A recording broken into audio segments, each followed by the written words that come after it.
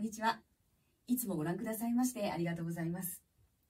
今日は、え、前回に続きまして、え、ブラームスの6つのピアノ商品、え、118から、え第2番のね、第2曲の感想曲、え続きをやってみたいと思います。えっ、と、今弾いたところから、え18小節分。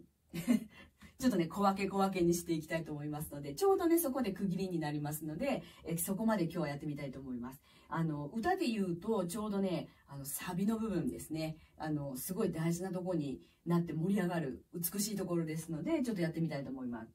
じゃあまず、そのね、18小節分のところを、あのね、グループ分けちょっとしてみます。1小節分のところもあれば、え2小節分のところもあるし、4小節分のところもあるので、えっと、今からね、あの、弾いていくので、ちょうど、あの、もし楽譜持ってらっしゃったら、え、ちょっとね、そこにこう、薄く線を引かれるか、もしくはちょっとこう、丸で囲んでみてください。薄くて大丈夫です。じゃあ、最初から、あの、今のところからいきますね。チア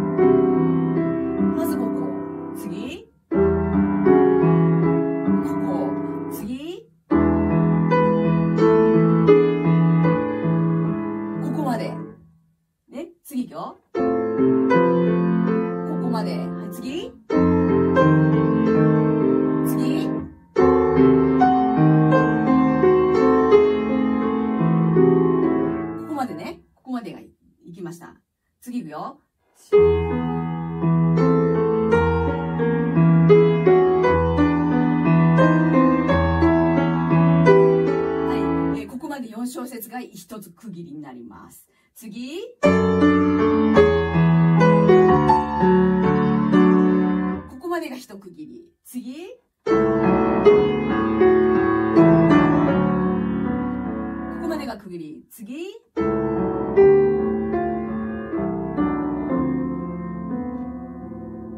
ここまでが一区切り。これでちょうどね、18小節分いきました。なんでね、こういうふうに区切ったかというと、そのね、えー、区切りごとで表現をしていくと、うまくね、まとまるんですね、ここがね。なので、最初にその分配というかね、が分かっておいた方が曲奏としてまとめやすいと思います。なので、今の区切り区切りでじゃあね、どう弾いたらいいいいいいだろうなっていうのを説明していきますね。こ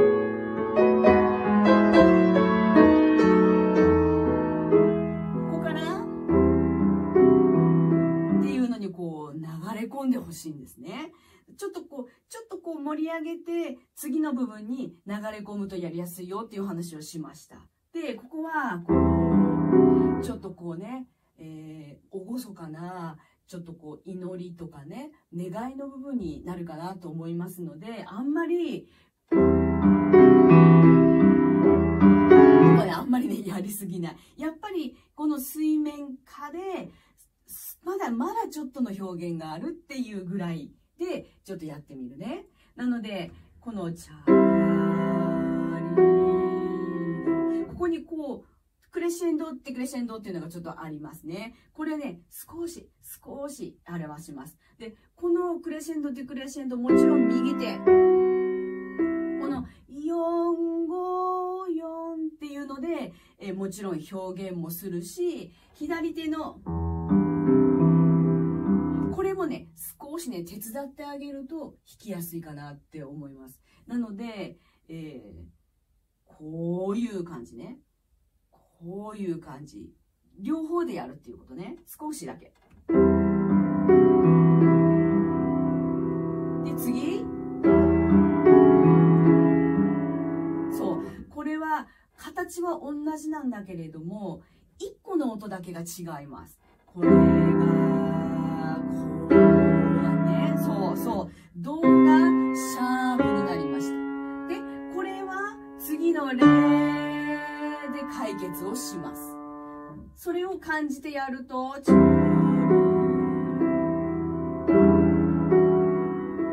少し気持ちが少し強くなったっていう感じかな。なので、最初は、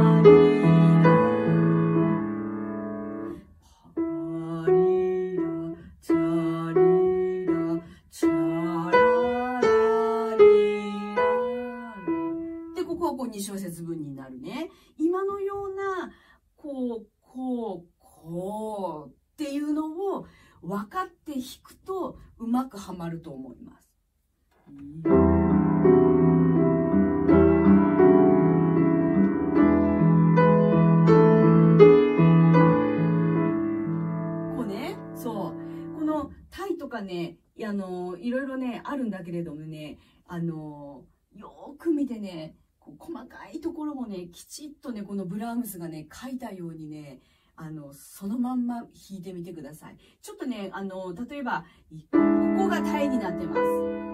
で、やーらーって和音が2、つ来て、次は、これが、ソーがタイになってる。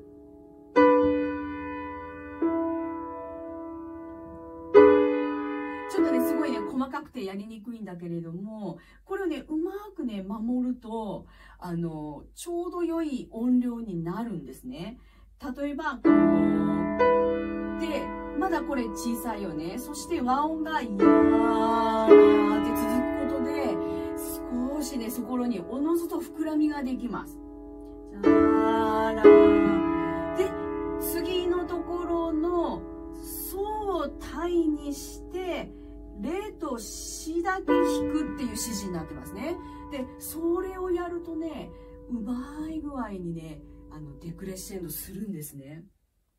やっぱね、そこまでね、あの、計画して書いてると思います。あの、前やったね、あの、ショパンのあの、ノクターンの時もこういうね、技あったと思うんですね。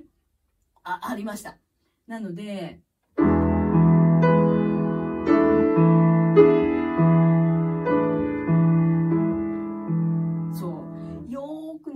あの、音がどうなってるかっていうのをここに聞きながらね、ゆっくりやってみてくださいね。で、左手。ここ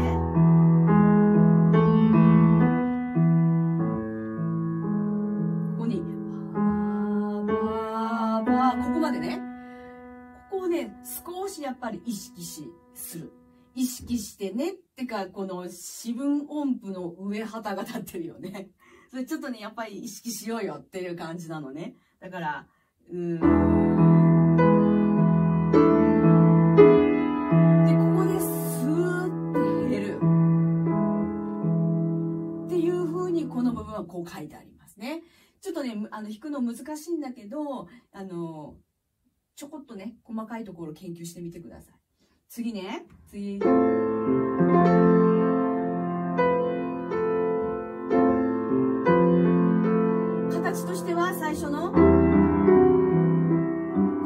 同じね、形はね。だけど、少しなんかちょっとこう明るめな感じがするよね。ちょっと盛り上がりの前兆というか。で、きたら次。そう。タララだったのが、次の塊でタララに変化した。で、左手もタファに降りたよね。から少しね、幅が出てきました。最初の部分は、ミー、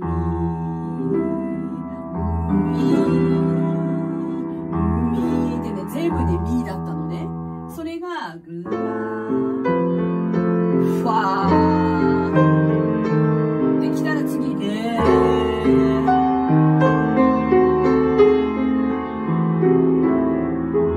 で、ここに流れ込むわね。で、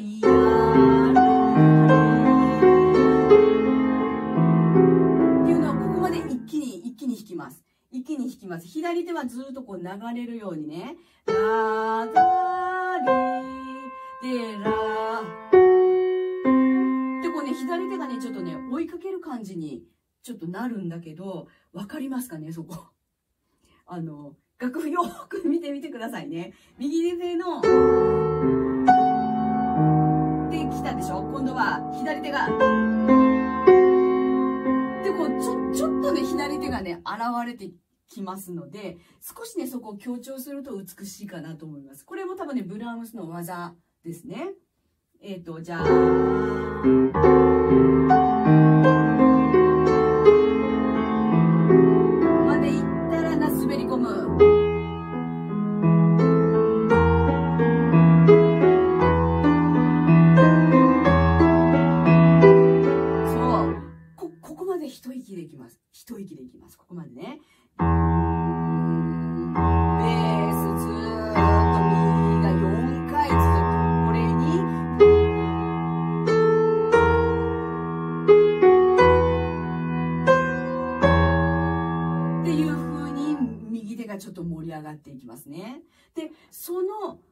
アウトラインがあって、真ん中でこう揺れ動くわけですね、音符がね。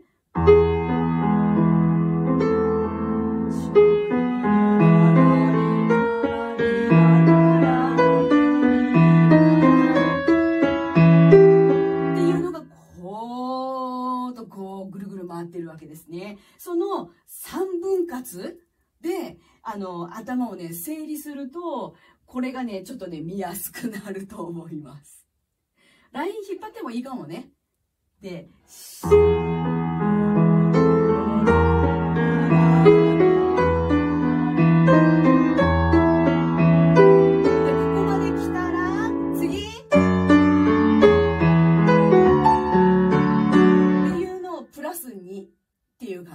2小節プラスになってるって考えてくださいね。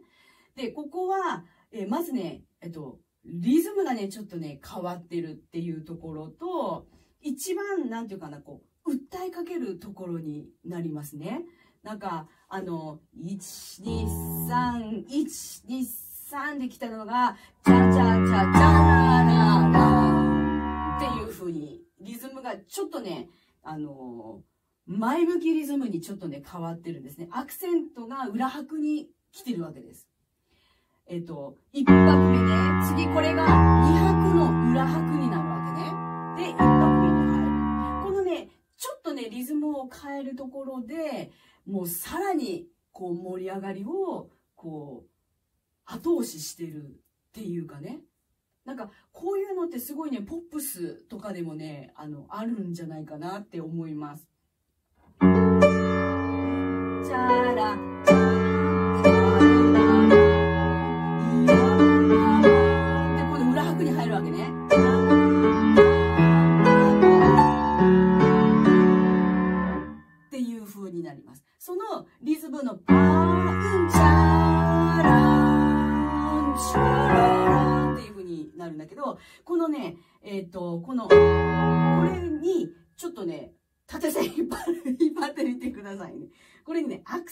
ないんだけれども、ただ、いやいやばばいやらららっていうのをね、意識するってこと。意識してやるってことね。な、流しちゃうともったいないかなっていう気がします。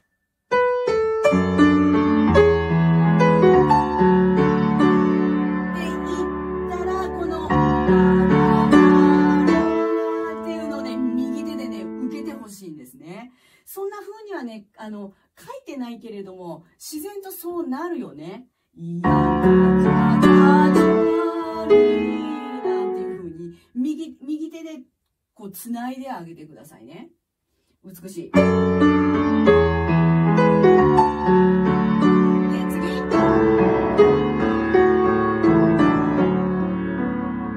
今、ここまでが一つね。で、ここにはね、エスプレッシーボっていう指示があります。この2小節、今のところにはね。なので、このもう盛り上がりを受けて、いい、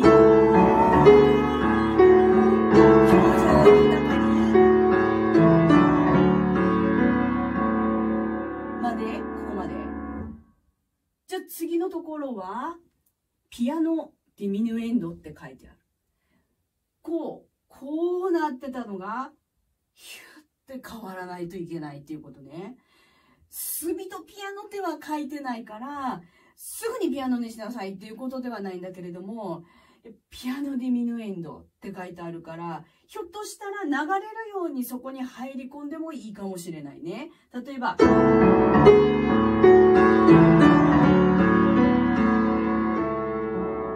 で、こう、すぐにピアノに入るのも技かもしれないけれども、な、流れ。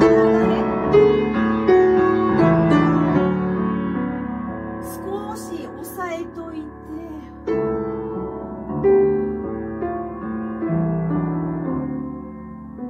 そう。今の区分ね、今の部分ね、それは最初ピアノディミニエンドだったんだけれども、もう一回、やーられ、ここにはまた別の指示が書いてあります。カランドって書いてありますね。カランドっていうのは消えるようにっていう意味なんだけども、プラス、だんだん遅くっていう意味合いも含まれてます。なので、最初、ピアノディミヌエンドをこっから絡んの消えるよ